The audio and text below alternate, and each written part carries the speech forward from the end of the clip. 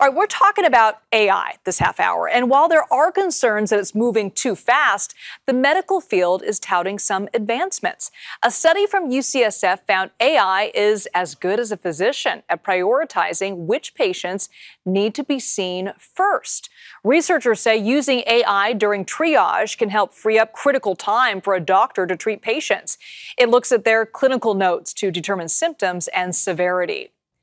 And new artificial intelligence could also help in cancer therapy. Researchers in Australia developed a new tool that predicts a patient's messenger RNA profile and determines what treatment could be most effective. It was trained on more than 5,500 patients across 16 cancer types, including breast, lung, and pancreatic cancers and AI accelerating the discovery of new antibiotics. Researchers at the University of Pennsylvania used an AI program to analyze tens of thousands of bacteria and produce dozens of promising antibiotic compounds. The authors say what once took years will now just take a few hours and will be especially helpful in fighting drug resistant infections. Joining me now is UC Berkeley business professor Dr. Olaf Groth. Thank you so much for joining us. Always fun to be with you, Liz. Thanks always, for having me. Always so fascinating to talk to you. You've been studying AI. You teach it in your classrooms. Right. This is such an exciting time for the advancement of artificial intelligence.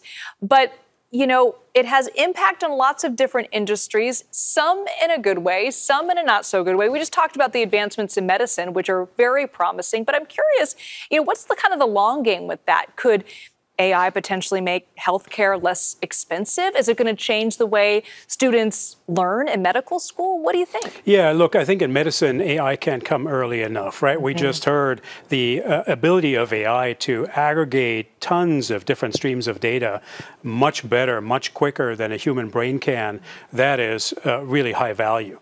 Uh, but uh, the cost efficiency there, that's a real long game, a long, long game, because for every doctor whose life you're making more more efficient. Mm-hmm. Uh, you are actually hiring data scientists. You hire AI uh, scientists, uh, and and you're going to have to get into expensive contracts with companies, whether consulting or or large tech companies, that will put these models in place for you. And to amortize that and bring it down to uh, cost reductions will take a number of years. Yeah, it's interesting to see where that's going to grow. But also, you know, earlier we talked about the AI technology and the demands it's made on the power grid.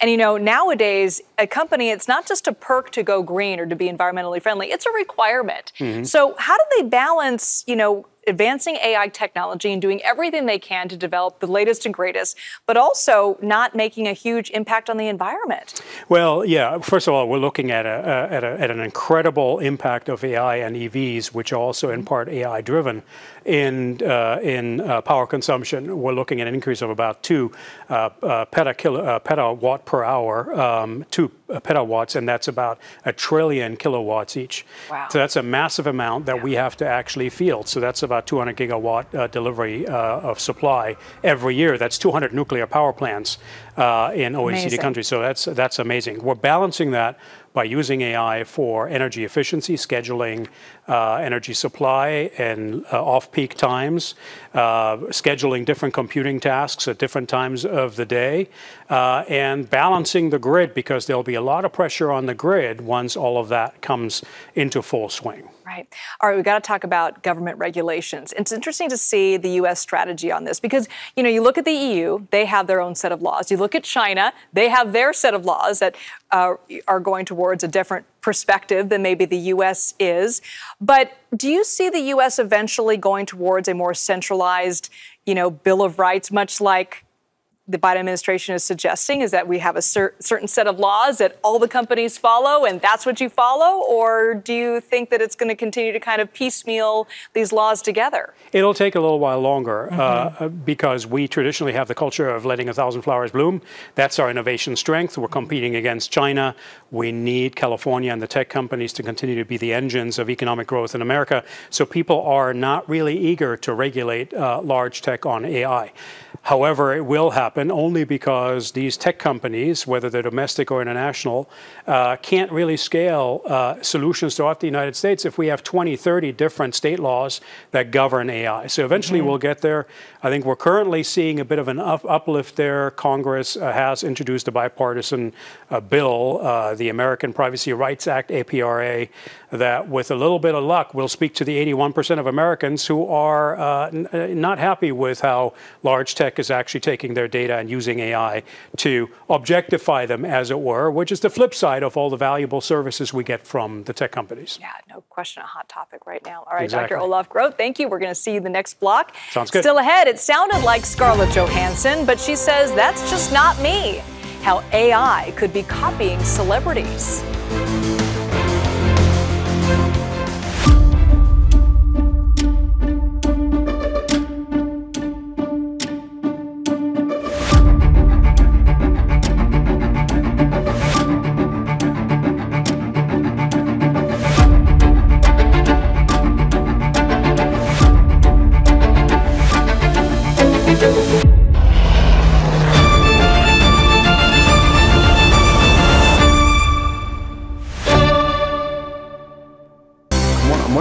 Going to be addressed first in a way? I mean, is it going to be like this industry or like out just in the normal world, people are going to start losing jobs, like not in the movie industry at all. Like right. you know, so many people are going to lose their jobs just to an AI that can, you know, do so much.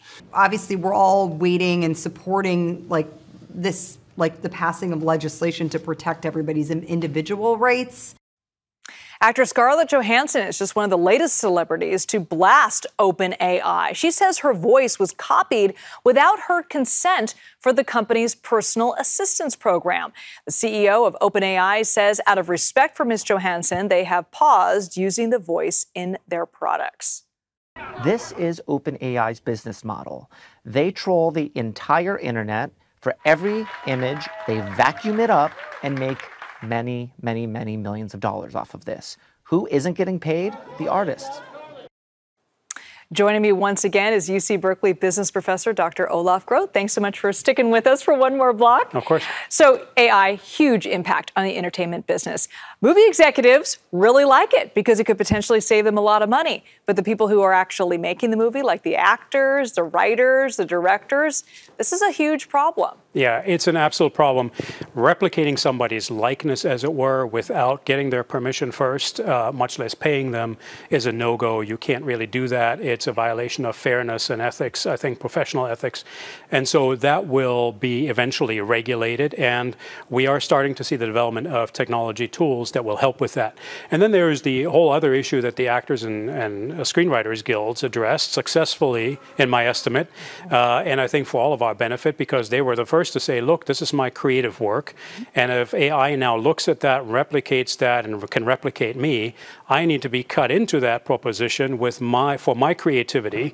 And you have to work with me on this. And luckily, um, uh, the studios agreed, and there was agreement reached uh, that um, uh, if AI is at play, it has to partner with the screenwriter, and the screenwriter will get credit and will get paid uh, intellectual property law helped there mm-hmm. because you can't really assign intellectual property to an AI without a legal persona behind it. You know, the big concern also with AI is how it's going to impact the job industry. Is it going to cause people to lose their jobs? Is it going to create jobs that some people aren't prepared to do? How do you think it's going to impact the job industry? It's going to change how uh, jobs are composed, how different tasks are managed. It's going to change the life of the university professor and the TV anchor. Yep. Um, uh, there are just certain things that an AI can do better, uh, even when it comes to pretending to be us. And depending on what tasks that's for, we may well like that. But it's all in the design. It's got to be a thoughtful job design. Mm-hmm. What does AI do, do better, and do with our agreement versus what do we do? And how do we make sure that we got that split right? Um, so I would encourage anybody amongst your viewers who is taking a new job, think about how that job will be evolving over the next five years. Engage with your management, with HR, right. to think about what's that new trade off between AI and the human.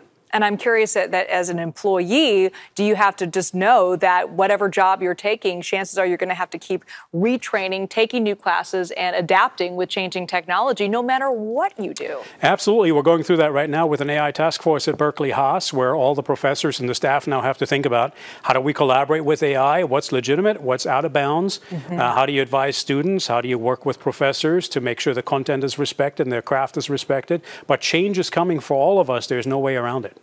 Right, Dr. Olaf Groth, thank you so much for being here. Fascinating conversation. And we'll be right back.